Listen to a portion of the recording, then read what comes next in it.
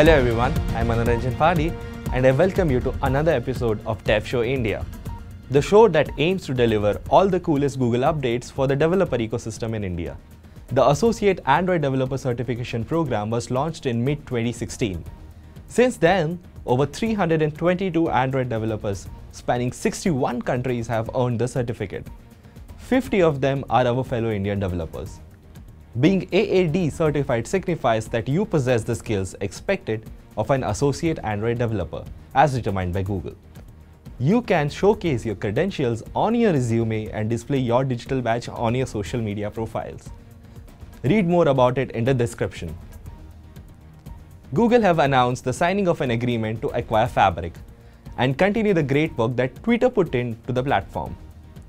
This is a unique opportunity to bring together the best of Firebase with the best of Fabric, helping developers to focus more of their time on building creative experiences.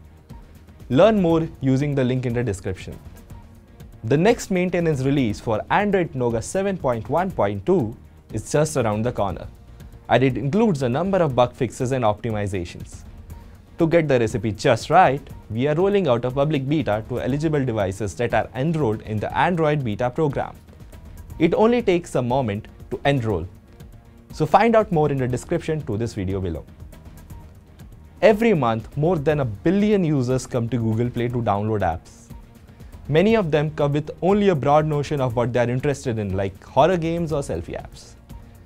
These broad searches by topic represent nearly half of the queries in Play Store so it's critical to find the most relevant apps. This three-part blog post series details how to give personalized recommendations with related apps and use machine learning to fight spam and abuse at scale. Check out the blog post with the link in the description.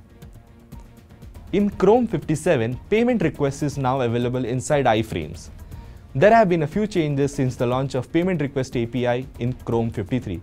And although these changes won't break the functionalities of your working code, we recommend you to add a shim to your code so that the future changes won't break your product. Check out how to do so in the link in the description below.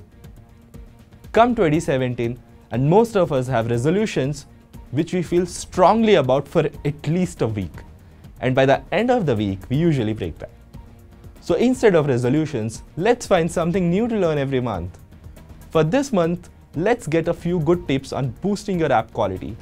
So make a resolution to read more about it in the description below. And there you have it, all the latest Google Dev news in just a few minutes. Don't forget to subscribe and tell us in a comment what you would like to see in future episodes.